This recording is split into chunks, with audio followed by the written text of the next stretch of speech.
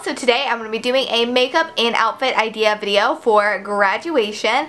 And personally, I graduate in 15 days, which is absolutely insane and I know a lot of y'all are about to graduate college as well or even high school and you're probably all in the same boat as me as wondering what should I wear for graduation. So if you're stumped on what to wear for graduation or what to do with your makeup for graduation, I hope this video helps and also if you like the video please subscribe. I really really really appreciate it and I guess that's everything. Let's get into the video. So starting off with clean skin, I'm first priming my face using the Smashbox Primer Water just to hydrate and ensure my makeup's going to stay on all day. So for foundation, I'm using the CoverGirl Ready Set Gorgeous Foundation, and this gives you a flawless coverage, but it doesn't have any SPF in it, so you don't have to worry about getting any of that like flashback white cast look on your face. And then I'm just blending it in with my Beauty Blender.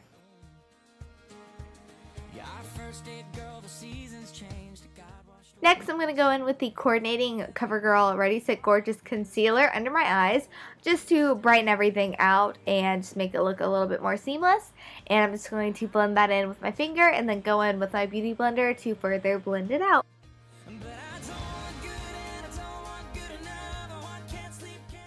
And next, I'm just setting everything in place using my NARS Translucent Crystal Powder.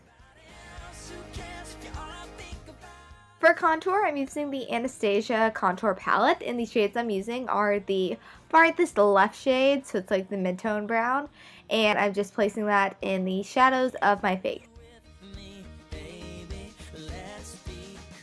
For blush, I'm using Becca's Flowerchild, and this is just a go-to blush for me because it's so pretty for just everyday wear.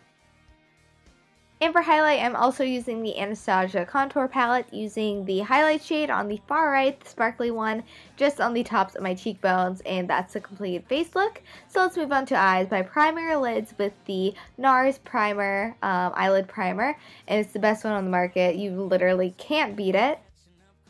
All the eyeshadows I'm using are coming from my Lorac Pro palette, and the first one I'm using is Light Bronze, which is a shimmery light bronze shade, and I'm just tapping that all over the lid. Now moving on to the crease, I'm just using the shade Mauve, which is a matte, like light purpley gray shade, and I'm just blending that out just so the shadows I put on top of it can blend out even more beautifully. Now to deepen up the crease, I'm using Sable from the palette, which is a matte deep brown, and I'm just blending that all throughout my crease. And now I'm just blending everything out with a clean, fluffy brush just to make sure everything is looking nice and seamless in every step of this process. Now just to deepen the look a little bit more, I'm taking the shade Garnet, which is like a cranberry shade, and just placing that in my outer corner and just blending it all together. And now I'm simply using the shade Cream, which is a matte highlight shade underneath my eyebrows. And so now we're moving on to liner, and the liner I'm using is the Liquid Liner by Kat Von D in the shade Trooper, and I'm doing a little bit of a wing, nothing too crazy because my eyes can't handle that, but just a little bit just for some fun.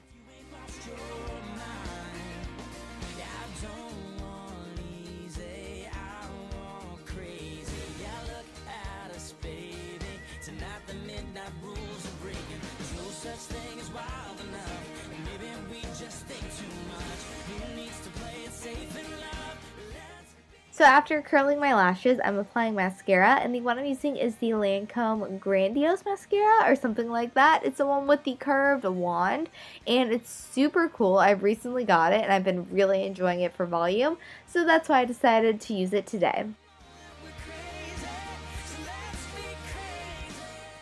So at this point, my eyes needed a little brightening, so I'm using the shade Nude from the palette, which is a sparkly champagne, and just blending that in my inner corners, and that's a completed eye look.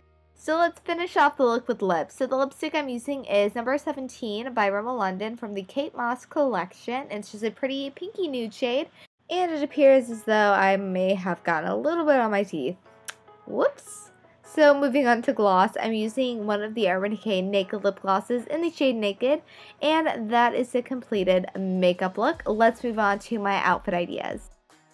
So this first option is pretty classic for graduation. The dress is from Angie, the necklace is from J. Crew, the shoes are by Lucky Brand, and it's just an overall classic look. For option number two, it's a bit more fun, and this dress is all over Pinterest. It's actually from the brand or the website called Choices or something, which is like a wholesale website.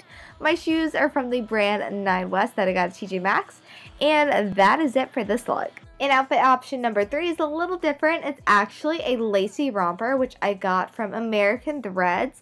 And it's a very classic shape. It's very structured. And I think it's really pretty. The ring I decided to accessorize with is by Kendra Scott. And these are the same wedges from Lucky Brand. Alright everyone, so that's everything for this video. I hope you guys liked it. If you did, please give it a thumbs up. I really appreciate it. And if you want to see a get ready with me for my actual graduation, let me know in the comments down below because I would love to do that for you guys. Um, but that's everything. Don't forget to subscribe and check out my social media and I will talk to you guys later. Bye y'all.